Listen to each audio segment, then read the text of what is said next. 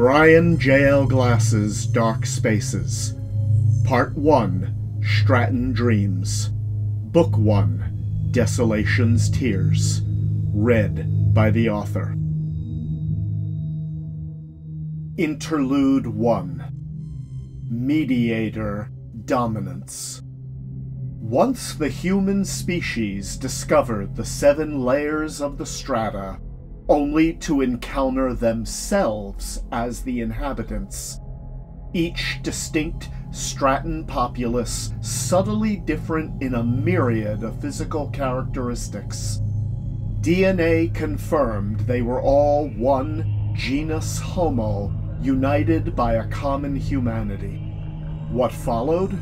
War, obviously, as such is what human beings have always done whenever one people possessed resources desired by another. It would take several hundred years before the first unity was established, then enforced under the religious tyranny of the Adonai. The Grand Directive followed, breaking the stranglehold of those techno-pietists over the commerce and governance of the strata. The union of the combined federations was but the latest unifying authority in the over 3,000 year history since humanity took those first tentative steps of faith that embraced the transcendent mystery of the strata. Translating down from the upper reaches of the greater electromagnetic spectrum, mediator dominance was currently transitioning the vibrational frequency of its matter between the strata of Mercuria and Olympia, en route to the Stratan capital on planet Haldaroth in the Prime. Haldaroth didn't really govern the strata but it was where the executorium and its board of executors went through the motions that they did. But the great halls of the executorium no more ran the Stratan show than did the Comfed Home Office, located in the vast complex that stood right next to it. Both were facades to give the populace something to distract them to rail against, to draw attention away from the Tucht family who controlled the military. Without the power of the armed forces to impose its edicts, Comfed was just another impotent ideal.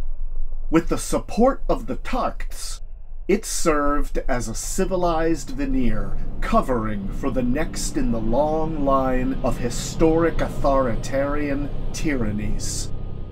Comfed couldn't have battleships and soldiers, as such were considered bad branding for a corporate entity.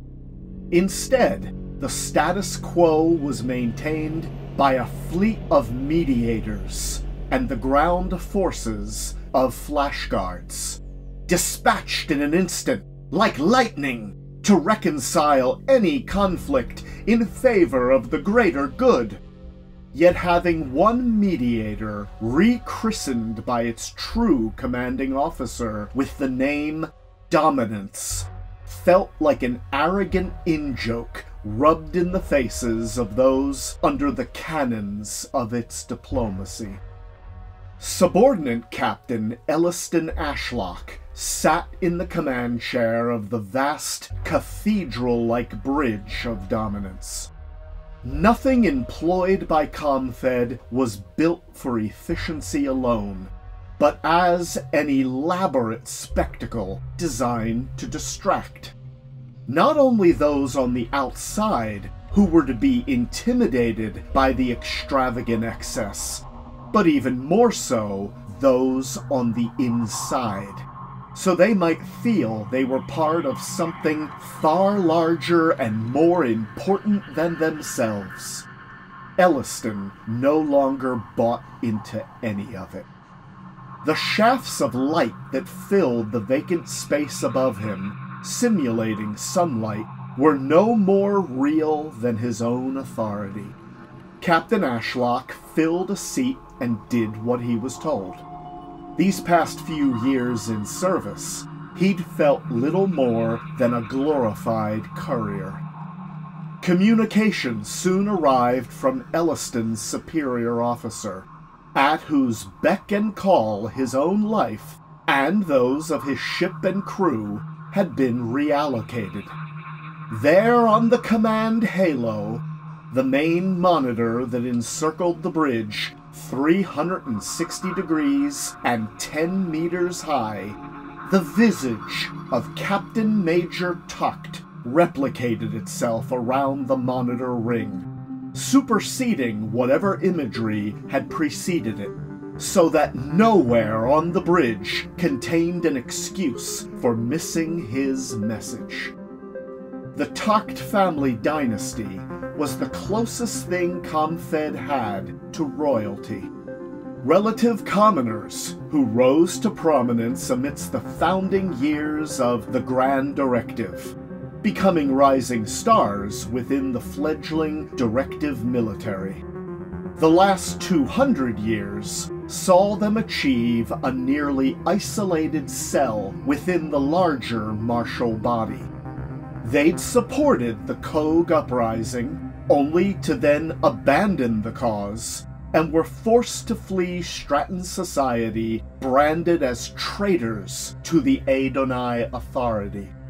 Yet the Adonai ultimately imploded, collapsing the formal directive with them. With the strata fractured into competing independent worlds and loose confederations, the Tuchts returned in power to help consolidate the chaos into the order of the combined federations. Now, three generations of Tuchts had guided the strata from behind the Comfed curtain. The youngest and heir apparent now called his subordinate lapdog to heel. Elliston, the captain major addressed him, ignoring the formality of his rank as if asking a close friend to perform him a favor. This Tucht was at least ten years younger than his rank might suggest with an Olympian's face of 35 years that looked little more than 20. With his angular jawline, bright blue eyes, and perfectly close cropped blonde hair, he was considered extraordinarily handsome, save for one defect, possibly the result of his upbringing. His eyes were deadly cold while masking a rage no one dared trigger.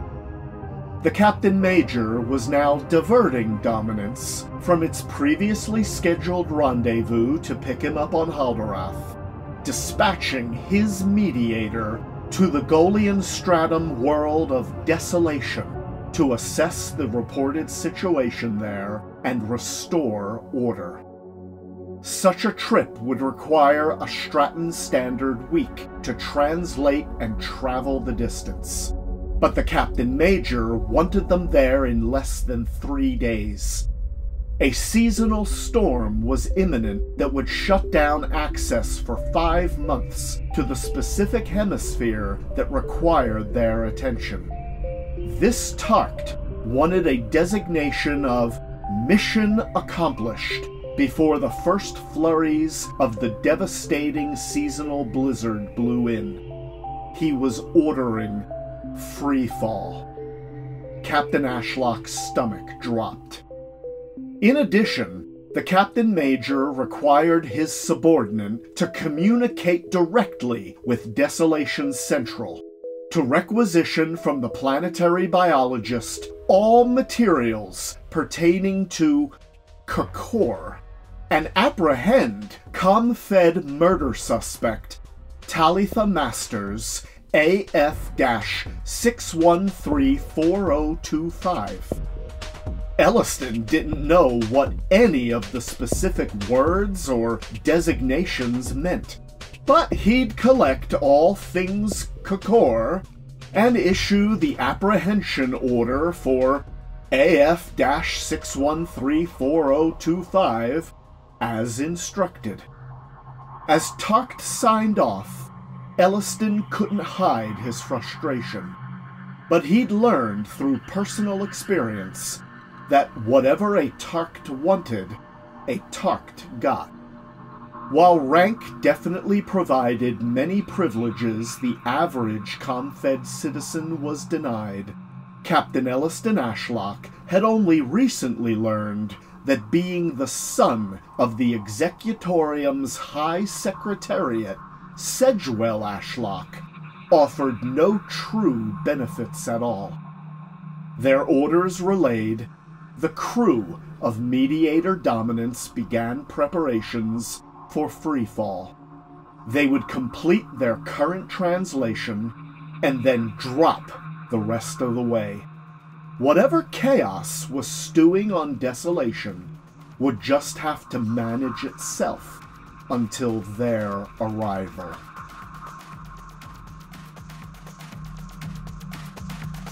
This has been Bryan J.L. Glass's Dark Spaces, Book 1 Desolation's Tears, read by the author. Audio and video production by A.J. Blackburn. Original music composed and performed by Frankie Caffrey. Bryan J.L. Glass's Dark Spaces and BJLG's Dark Spaces are copyright 2022 by Bryan J.L. Glass.